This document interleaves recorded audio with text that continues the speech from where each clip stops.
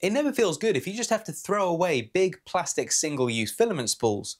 One way around this has been to use cardboard spools that can then just be recycled. But a little while back I did a video talking about the growing options in filament refills which negates the need for single-use spools at all.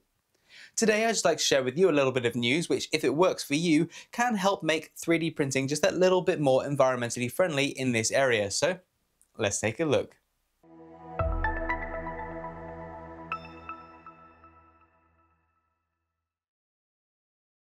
In that aforementioned video, I focused on Filamentive, a company who for years has been using high quality cardboard spools that can just be recycled, and who more recently released a range of filament refills that could then be used with their printable, reusable master spools.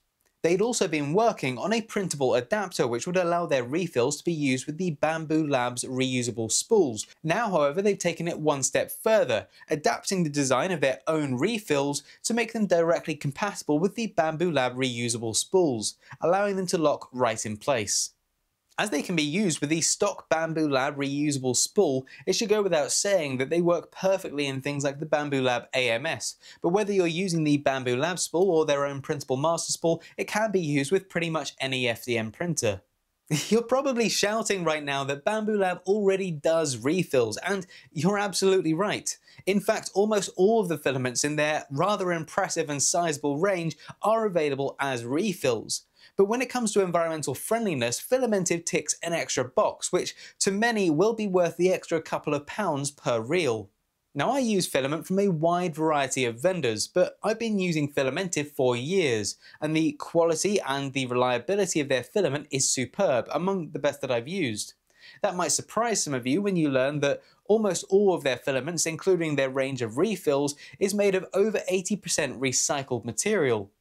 So not only do these refills not come with a big single-use spool, instead being compatible either with their own printable reusable master spool or the Bambu Lab reusable spool, but less than 20% of its content is virgin plastic, which again has a massive impact on the environmental footprint of your 3D printing.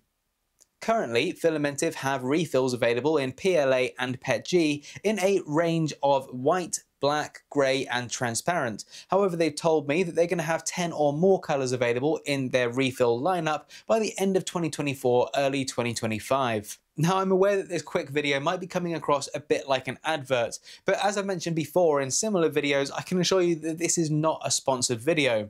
I just like to promote ideas, individuals and companies who have real potential to reduce the negative environmental impact of 3D printing. As I mentioned earlier, I use a range of different filament brands, and sometimes you just have to go wherever you can to find the colour or the material properties that you're after. I also get that if you're using a Bambu Lab AMS, the NFC tags that come on the Bambu Lab refills can make things a bit easier, and if you're a regular subscriber, you'll have seen that I do use them a lot. But depending on the colour and material you're looking to print with, if you'd like to make your 3D printing hobby or career a bit more eco-friendly, this can be an easy adjustment for you to make. I know this was a little different to my normal videos, but if you liked it, please do hit the thumbs up. I've got plenty more on the way, more in line with my typical content, including tutorials and deep dives into 3D printing and 3D scanning, hardware, software and accessories, and other maker tech. If you haven't already, make sure you subscribe so you don't miss them when they come out. As always, thanks very much everyone, and until next time, happy printing. If you're interested in green 3D printing, last year I did a six-part series on 3D printing and the environment, where I looked into a range of eco-filaments, including truly biodegradable ones. I'll link to one of those episodes over here. Below that, I'll link to one of my other videos where you can learn something new or have some fun. Thanks very much everyone, and until next time, happy printing.